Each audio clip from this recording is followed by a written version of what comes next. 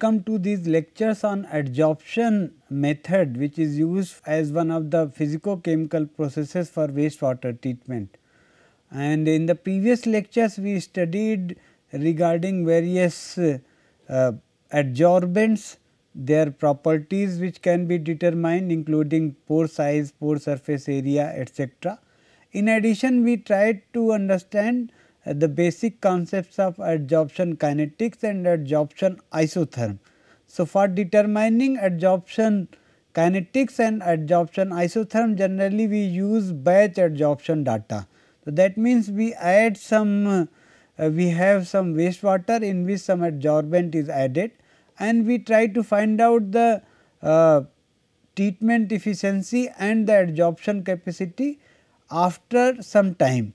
So, that is a like a batch adsorption process, but in actual in the industry will always be uh, doing this water treatment in the adsorption unit, unit which is operated in a continuous mode. So, that means uh, will be having a continuous mode of operation where the water uh, which contains some amount of pollutant will be fed from one side and will be continuously be getting water which is treated in the adsorption unit. So, for doing this generally we use packed bed sorption column. So, uh, these packed bed sorption columns or packed bed units uh, are used other places also in various other unit operations. So, but we will be considering the adsorption or sorption column where it is being used as an adsorbent. It is possible that some other types of reactions are also carried out in the packed bed. So, that is there. So, we will be having one column in which the water will be fed, we, we can see the wastewater to be treated is being fed and from the outlet we are getting the water which is already treated and we can analyze the water with respect to uh, its uh, treatment efficiencies and other things. So, these parameters we can find and we, we what we do is that we uh, fill the bed with certain amount of adsorbents which may be sand, it may be any other type of adsorbent. So, in general in chemical processing packed beds are very common. And essentially the packed beds they are cylindrical tubes or pipes or any other types of vessels. Generally they will be tube or pipes and that are filled with some packing material. The packing may be randomly filled with small objects like Raschig ring etc. In packed beds which are used for uh, adsorption or for some other types of catalytic reactions in place of uh, uh, packings we have catalyst particles or adsorbents. So, these adsorbents for uh, adsorption case they may be zeolite any granular activated carbon or any other type of uh, adsorbent that we have to use for the water treatment. So, uh, these uh, other way around they may be called as fixed bed adsorbers also. So, in the fixed bed adsorbers we can use them for removal of various types of dyes, colorants, refractory pollutants, many other types of toxic pollutants etc., from water or wastewater. The size of the bed uh, will depend upon the gas or the liquid flow rate or the whatever is the our treatment that has to be done. So, uh, this will be dependent upon the size including the length and the diameter of the bed. So, that is uh, very important. So, that depends upon that how much water we have to treat and if the liquid flow rate is very very high we can divide the flow rate into various parallel uh, flow rates uh, which can be treated further on by a number of parallel packed beds which are being used there.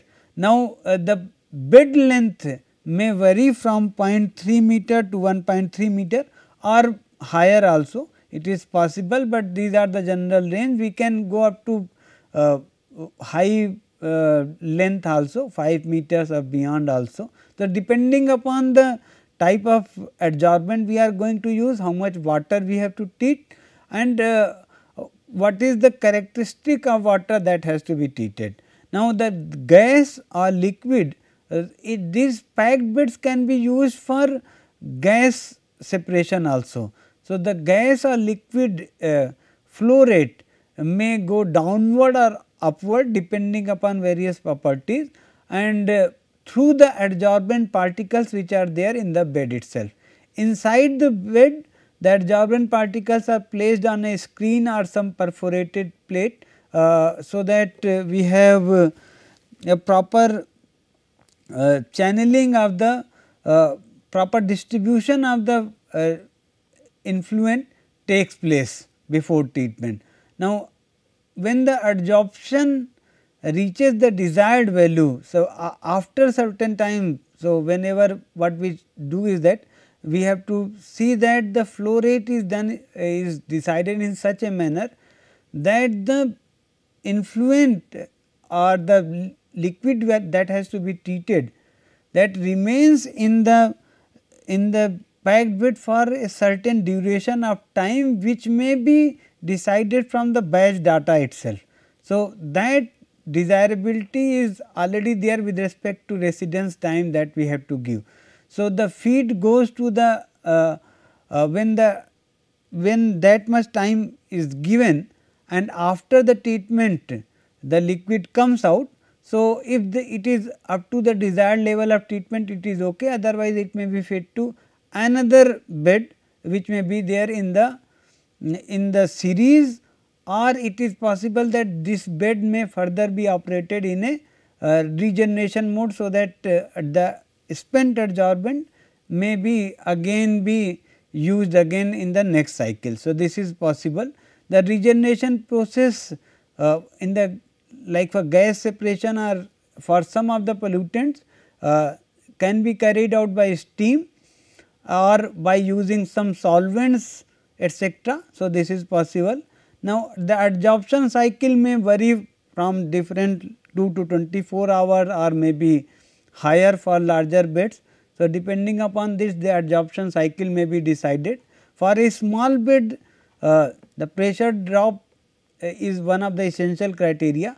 So, uh, the flow rates, pressure drop all these are very important criteria which actually help in deciding whether we have to use how many beds or what should be the length of the bed or the diameter of the bed. So, these parameters can be decided depending upon number of parameters. Now, the concentration of solute in the fluid phase and of the solid adsorbent phase they change with time and with position in the fixed bed at the adsorption process proceeds. So, when in, in the initial phases the, the first layer of the bed will get exhausted. So, and similarly the second bed. So, it is possible that for long duration the solute which is coming it is within the desired limit but after some time the solute uh, which will be coming out or the effluent which is coming out it will not be up to the desired limit and it will breakthrough conditions will be there where the concentration limits have been breached and the desired treatment efficiency is not achieved. So, this is possible. Similarly, the adsorption which occurs, so it also moves across the bed. So, this is written. So, we will try to understand this in further slides. At the inlet to the bed the solid is assumed to contain no solute at the start of the process, but as the treatment goes on these solid particles get exhausted and the adsorption mass transfer zone or adsorption in, in the adsorption zone moves through the bed.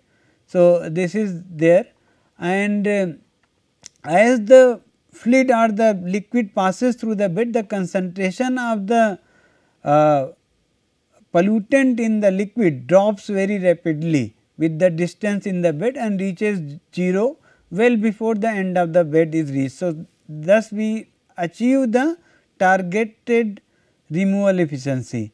So, but it is possible that after some time when saturation is reached, so and most of the mass transfer and adsorption will reach to the end point and after that the removal will not occur properly. Now, in the packed bed there are number of parameters that we should decide and uh, one of the essential parameters are uh, like empty bed contact time and uh, sorbent usage rate or adsorbent usage rate also we can call, call it. Now, contact time or the duration in which the adsorbent or the liquid is inside the uh, bed that is very important parameter. So, contact time is very important parameter in the design of adsorption columns and it is generally expressed as EBCT. EBCT means empty bed contact time. So, it is one of the parameters that helps in deciding that what should be the EBCT or what should be the residence time etc. So, EBCT affects the volume to breakthrough and the shape of the breakthrough curve. So, this is there and it is determined by using the following formula which is uh, given here by V c by q and V c is the actually the volume of the column. So, total volume of the column and q is the flow rate. Now, uh, V c can further be written as A c into Z. So, A c is the cross sectional area of the column and where Z is the height of the column in which the packed bed material is kept. So, uh, this is there. So, it is very straightforward calculation. Now, in addition to that the performance of fixed bed can further be evaluated in terms of adsorbent usage rate. Okay, and which is uh, defined as the weight of the sorbent or adsorbent saturated uh, per decimeter cube or per liter of the adsorbate solution being treated. So, this is there. And it can be defined as uh, uh, like mc divided by vb and uh, further uh, we can calculate is like vc into density. So, uh, this this is mc is the mass of the sorbent in the column. So, mass of the sorbent can be written as the volume of the sorbent into density. So, this is there. So, uh, we can calculate and the breakthrough VB is called as the breakthrough time. So, uh, breakthrough time is like uh, when we actually initially start the treatment process what happens is that so uh, we can understand it like under here. So, we have a packed bed okay, and in the packed bed some treatment is happening. So, suppose the flow rate is upwards okay, and we have C 0 is the concentration and after some time after treatment the concentration here is C. So, uh, this is there. So, when the adsorption will happen, so this is the time suppose. So, initially and we have on the y axis we decide like uh, C by C 0. So, uh, this is there. So, it initially what will happen that the concentration will be virtually nil here. So, whatever is the adsorbate that will get adsorbed inside this packed bed. So, that is possible. So, inside this packed bed the treatment will occur and here the concentration will be virtually be 0. So, the graph initially will be lying in the at the bottom, but after some time it will start it will start increasing and it will go up like this. Okay. So, the time in which we have breakthrough is achieved. So, this is called TB time for breakthrough and where the concentration suppose we want the C by C 0 to be 0.1. So, whenever this C by C 0 reaches 0.1 condition, so that will be the called as breakthrough time and the volume of water which has been treated up to this time is called breakthrough volume. So, this is what is given here. So, V c is the volume of the sorbent total sorbent in the bed, volume V b is the breakthrough volume and breakthrough volume we can always be uh, we can write in terms of this total uh, NB is the number of number of bed volumes being treated up to breakthrough. So, NB is virtually uh, defined as uh, VB by VC. So, up, up to breakthrough how much amount of volume has been treated of wa water which is to be treated. Now, it is possible that breakthrough we reach in during very large time. So, we always want this, this NB value to be highest possible. So, that we can treat maximum amount of uh, water. So, now in this case, so we, we have replaced VB by VC into NB. So, this VC VC can go off and we can like rho by NB. So, these two parameters uh, we always desire to be higher. So, sorbent usage rate if it is uh, uh, how much sorbent is being used per liter of uh, water being treated. So, we want this sorbent usage rate to be lowest possible because we do not want the sorbent to be used that much with respect to treatment of the per liter of the water or uh, any other volume of water. So, we can calculate some of the uh, calculations we can perform here like calculate the empty bed contact time for the furfural adsorption in a packed bed of bagasse fly ash at given conditions. So, the concentration suppose the initial concentration is 100 milligram per liter flow rate is 0.02 liter per minute. Bed height suppose is we are carrying out this work only in lab scale. So, suppose the bed height is only 15 centimeter and diameter of column is 2.45 centimeter.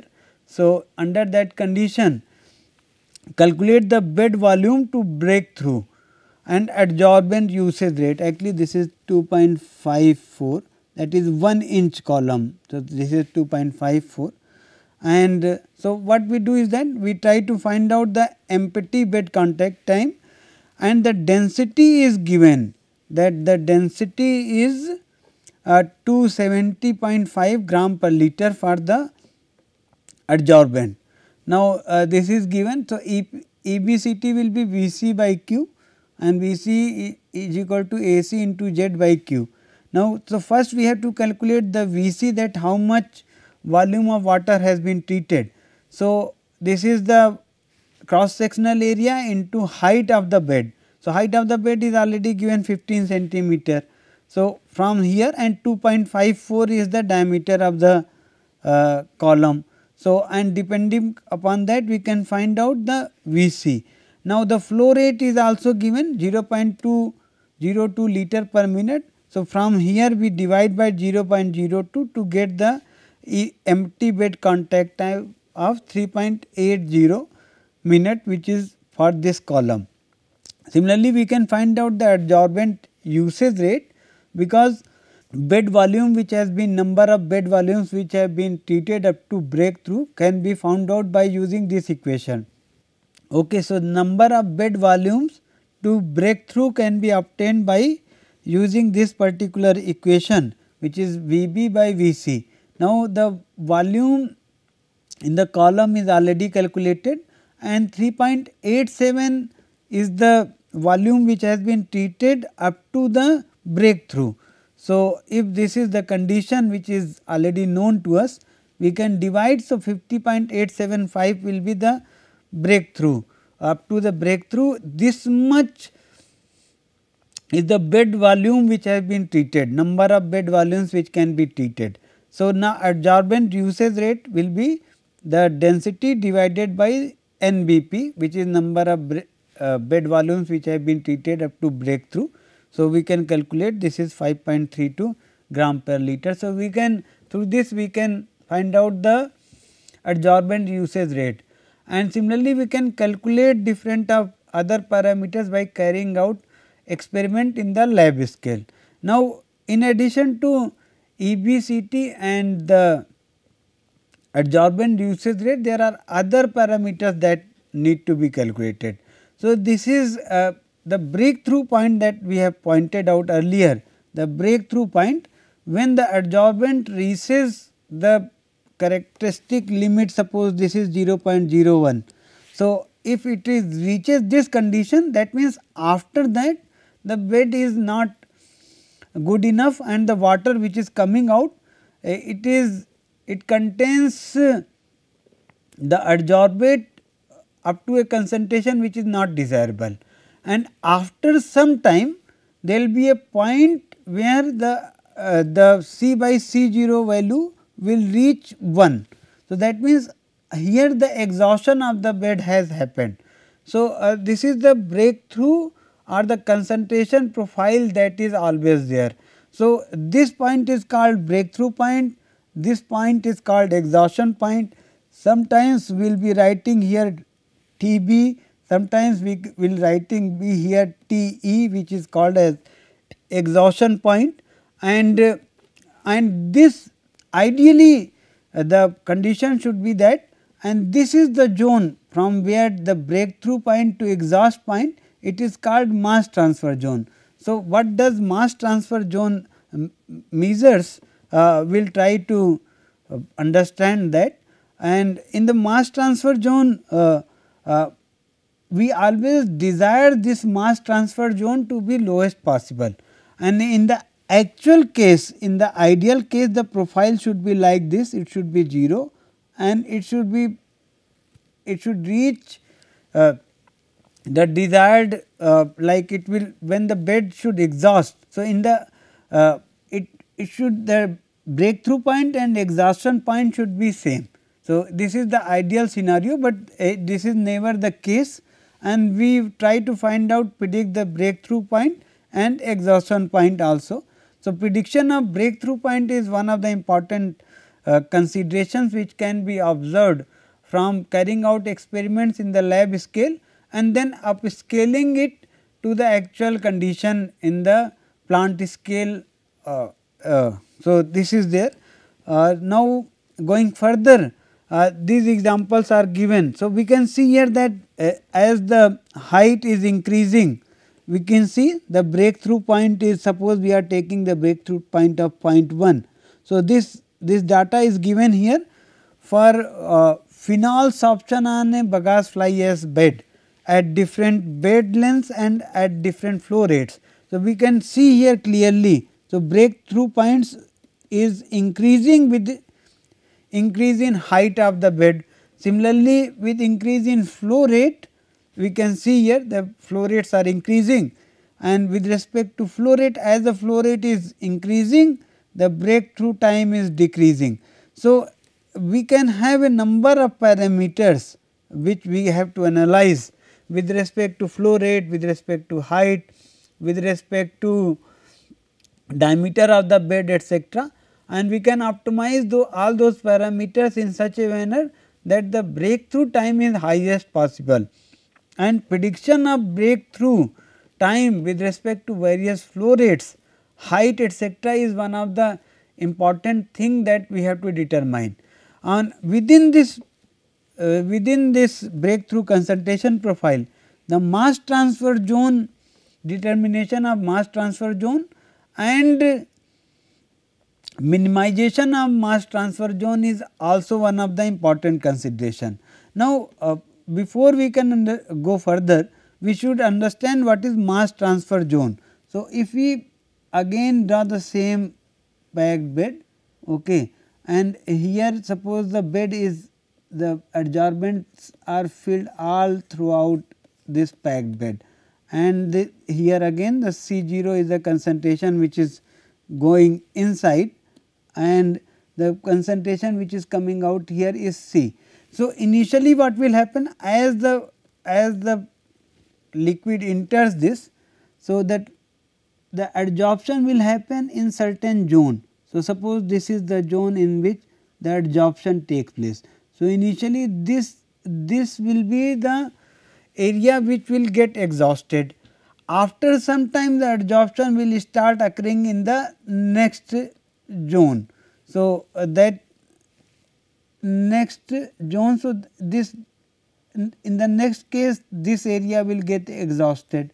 So, as these areas get exhausted they will reach a point where suppose this up till this area has been exhausted. Now, the whole bed below this is already exhausted and when now the adsorption will occur in this zone. So, some of the water will suddenly come out and that will the point that will be the point which is called as breakthrough point. and when whole of the bed will get exhausted. So, that will be the point which is called as the exhaustion point. So, in practical this is called the mass uh, this is called the uh, zone in which adsorption is occurring and this is called the mass transfer zone. So, we always want this mass transfer zone to be minimum possible. We also want to uh, determine different parameters with respect to mass transfer zone. So, uh, this was uh, this is there. So, important thing is that mass transfer zone was introduced in the fixed bed columns operation to understand the evolution patterns or the breakthrough patterns which are there and to plan an efficient model for performance using uh, adsorption in a fixed bed column. So, some of the important parameters which are determined for mass transfer zone are like fractional capacity F and this is obtained when the proportional amount of adsorbent uh, actually involved in the absorption is divided by the total amount of adsorbent utilized for the mass transfer zone. So, what is the total amount of adsorbent and what is the actually being used. So, mass transfer zone with respect to previous curve which is given here, uh, we can easily calculate uh, uh, by using this formula. So, from breakthrough point to the exhaustion point uh, so, volume at the breakthrough, volume at the exhaustion point and we try to find out the area under the curve of 1 minus C by C 0 and T is the, is the exhaustion point and T B P is the breakthrough point. So, through that we try to find out the fractional capacity within the mass transfer zone. Similarly, height of mass transfer zone can be determined and it is actually the area where practically all the sorption takes place uh, during the adsorption which is there. So, high, what is the height of the mass transfer zone? It is it has a very important role in evaluating the removal rate of the adsorbent adsorbate by the adsorbent. Lower is the resistance offered by the system, more the kinetics of uptake for adsorbate uh, which is there and shorter is the height at any given instant. So, it can be calculated by using this formula which is given here. So, remember f is already known and since f is already known fractional capacity we can find out the uh, the height of uh, mass transfer zone uh, using this formula and in this the z is actually the total height of the bed. So, we are assuming that from exhaustion point to the breakthrough point. So, the, these are the value and what are the actual uh, actual fractional capacity within the adsorption zone at the end. So, this parameter we already know. So, from this we can find out the height of mass transfer zone. Uh, similarly, we always uh, as already told we always want that uh, we should be able to predict the breakthrough point T b and which can be a function of various parameters. These parameters could be flow rate, height, okay, diameter of the column etcetera okay, and the particle size of the suppose adsorbent. So, all these parameters are there. So, we it is always desirable to predict the breakthrough time. Higher the bit it is always desirable to have the highest possible breakthrough time. Now, there are within certain limitations that we want to keep the uh, pressure drop within certain limits etcetera. So, those parameters are also there. So, uh, this is always a desirability that we want to predict the breakthrough curve for sorptive removal.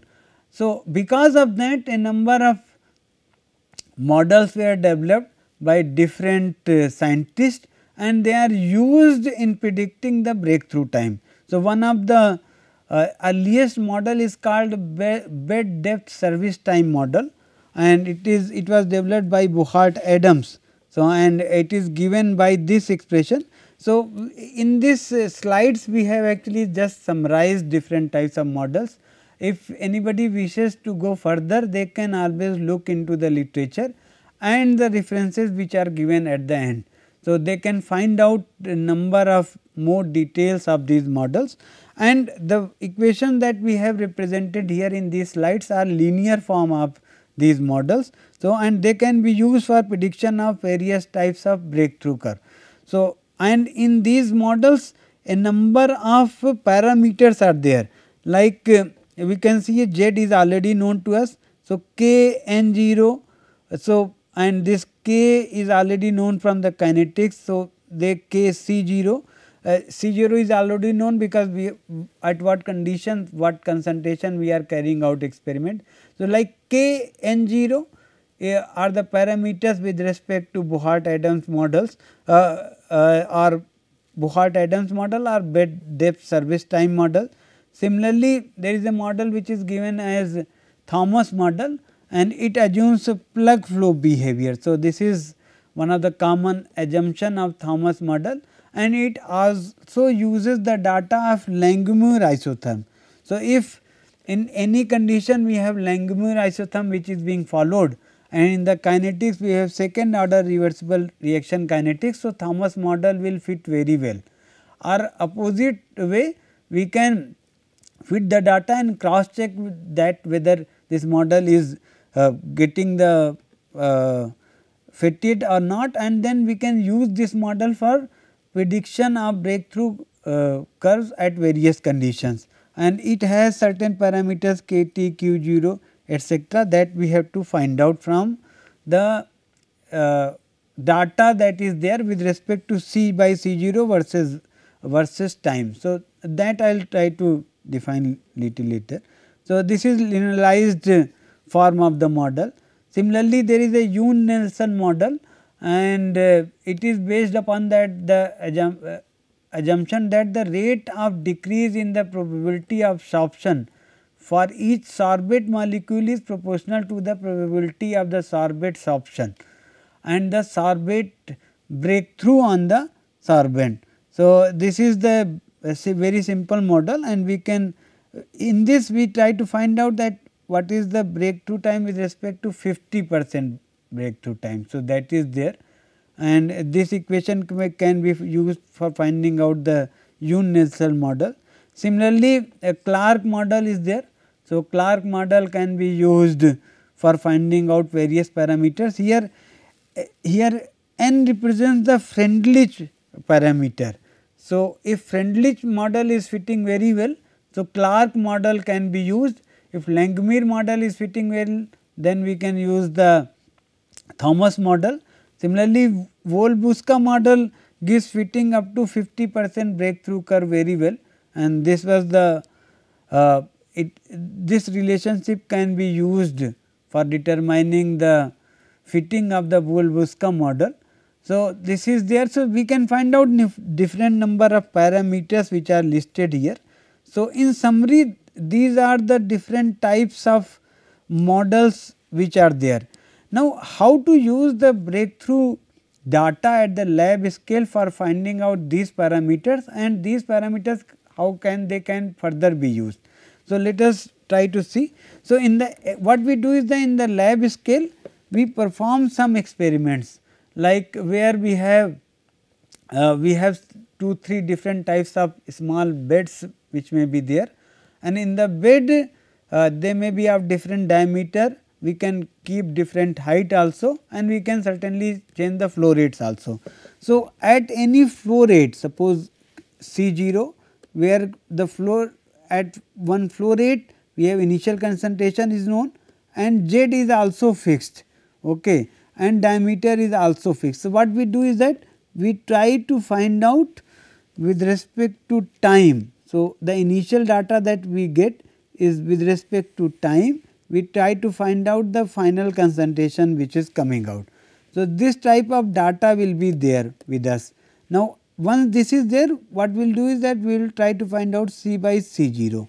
So, if C by C 0 is there, so we will be we will be getting the graph that we already discussed few times. So, we will be having this type of graph and from this type of graph which will be there we can easily find out the breakthrough point. So, this is the time within the timeline we can experimentally find out the Uh, time for breakthrough TB. So, this is possible and since we have this data which is there. So, we can integrate this curve numerically to find out this value. So, since flow rate is known we can either draw the graph with respect to time or with respect to volume also we can draw the graph. So, this will be TB or it will be VB and similarly this point will be T exhaustion point, this can be exhaustion point or volume at exhaustion point. So, both will be known to us. So, if we can numerically integrate this part of the curve, we can get this value which is there at the top or this value and once this is known and T e by T b p T b p is already known to us. So, we can find out the breakthrough point also and through this we can find out the fractional capacity. If fractional capacity is known we can find out the height of transfer zone. So, mass transfer zone so H z can be found out. Similarly, we can use the same data so, we have C by C 0 versus time data. So, we can use convert that data into this form and take log of that and draw the curve with respect to time. So, if we can draw the curve and C 0 since already is known. So, slope of the curve will give k and once k is known other parameters like z can be known u is already known to we can find out n 0. So, if all these parameters are known, we can find out the t value at any other condition. So, like if we take c by c 0 or c b c 0 by c equal to 10. So, we can predict at what z and c 0's values etc., what will be the breakthrough time. Similarly, we can use the same data for finding these parameters. So, this is again known to us, so we can easily in this graph we can easily calculate this value. So, this is known we can draw the linear line with respect to this versus time and in this because it is fitted to with respect to Langmuir model we can find out q 0 from Langmuir model itself we can find out the k t value and m is uh, m values and from that again we can predict that. So, any of these models can be uh, fitted and the best fitted model can be used. They have certain assumptions that we have to cross check that whether in the batch adsorption those assumptions are being met. So, we can be selective in using any of these models which have been listed here and once we can uh, we are already selected okay this is Thomas model we are going to use. So, we can uh, fit the Thomas model, we can find out the parameters of the Thomas model and then the fitted model can be used for predicting the breakthrough at any other conditions also. So, uh, this is how we do this and this way we can decide the Z flow rate and other parameters. So, that our breakthrough time is highest possible. So, through this we will end the adsorption section these are the various uh, papers which have been used in find in adsorption section. So, you can refer to any of these. Uh, some of the papers are very good with, with respect to breakthrough times and others. So, you can always refer those papers. So, all these papers have been used in all of the sections. So, you can use any of them.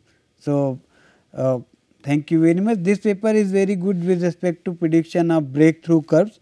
So, you can refer these papers and find out the uh, legitimacy of how to use these models etc. So, thank you very much.